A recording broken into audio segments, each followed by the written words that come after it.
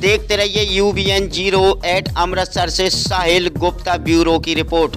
Indian federation of trade unions के द्वारा केंद्रीय कमेटी के संदेश के तहत मजदूरों के अधिकारों की रक्षा और बीजेपी सरकार के फर्जीवादी हमलों के खिलाफ और कीर्तियों की स्थानीय मांगों को लेकर Indian federation of trade unions की ओर से सुख तालाब पर रैली करने के उपरांत शहर में रोस मार्च किया गया और डिप्टी कमिश्नर गुरदासपुर में धरना लगाया गया। धरने को संबोधित करते हुए Indian federation of trade unions के सूबाई मीत प्रधान कामरेड रमेश राणा और जिला प्रधान जोगिंदर पाल पनिहाल से कहा कि 2014 से लेकर 18 तक भाजपा सरकार ने केवल लोक विरोधी दो एजेंडों को ही पूरा करने के लिए अपना तंगड़ लगाया हुआ है, जिसमें पहला एजेंडा यह है कि प्राकृतिक धन वन ज़मीन को साम्राज्य बहु कौमी कंपनियों को सौंपना। देखते रहिए U B N zero eight ताज़ा खबरों के लिए।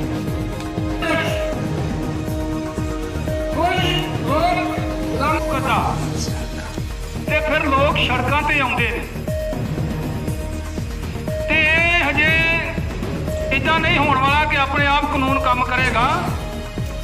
ਕਾਨੂੰਨ ਉਦੋਂ ਕੰਮ ਕਰੇਗਾ ਜਦੋਂ ਡੀਸੀ ਤੁਹਾਡੇ ਹੋਣਗੇ।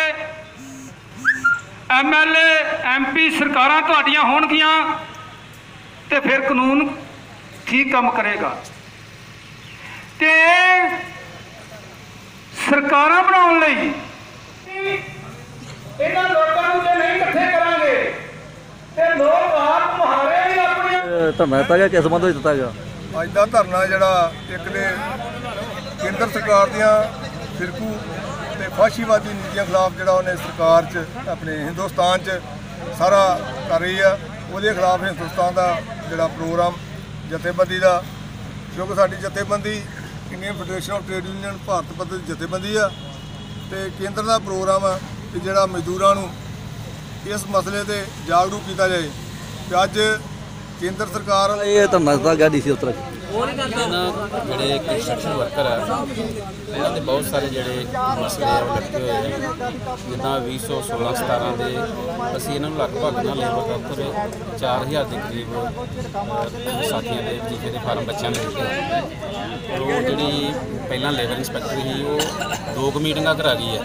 ਪਰ ਅਸੀਂ ਸਾਰਾ ਚੈੱਕ ਕੀਤਾ ਇਹਨਾਂ ਦਾ ਵੀ ਘੱਟੋ ਘੱਟ ਦੋ 4000 ਫਾਰਮ ਤੋਂ ਨਾ ਕੋਈ 800 ਫਾਰਮ ਵਜ਼ੀਫੇ ਦੇ ਜਿਹੜੇ ਇਹਨਾਂ ਦੇ ਬੱਚਿਆਂ ਦੇ ਪਏ ਆ ਤੇ ਬਾਕੀ ਸਾਰੇ ਜਿਹੜੇ ਉਹ ਪੈਂਡਿੰਗ ਪਏ। ਇਸ ਕਰਕੇ ਇਹ ਤੋਂ ਇਲਾਵਾ ਸਗਨ ਸਕੀਮ ਹੈ ਬਾਲੜੀ ਤੋਹਫਾ ਸਕੀਮ ਹੈ ਉਹਦੇ ਵਿੱਚ 51000 ਦੀ ਜਿਹੜੀ ਆ ਉਹ ਲੜਕੀ ਨੂੰ ਉਹਦੀ ਐਫਡੀ ਹੁੰਦੀ ਹੈ।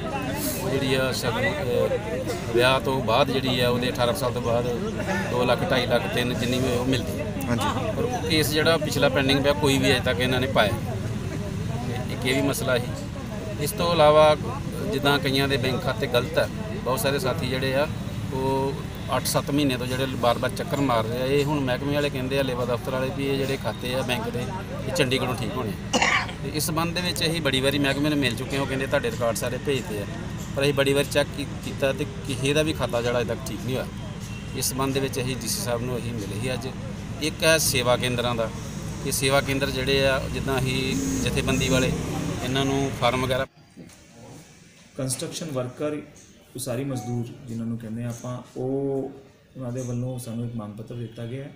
ਉਹਨਾਂ ਦੀ ਜਿਹੜੀ ਮੰਗਾਂ ਹੈ ਉਹਨਾਂ ਤੇ 'ਚ ਆਪਾਂ ਏਐਲਸੀ ਅਸਿਸਟੈਂਟ ਲੇਬਰ ਕਮਿਸ਼ਨਰ ਤੋਂ ਰਿਪੋਰਟ ਮੰਗੀ ਹੈ ਅਤੇ ਜਿਹੜੀ ਵੀ ਉਹਨਾਂ ਦੀ ਬਣਦੀ ਮੰਗਾਂ ਹੈ ਉਹ ਆਪਾਂ ਜਲਦੀ ਤੋਂ ਜਲਦੀ ਠੀਕ ਕਰਾਂਗੇ। ਠੀਕ। ਧੰਨਵਾਦ।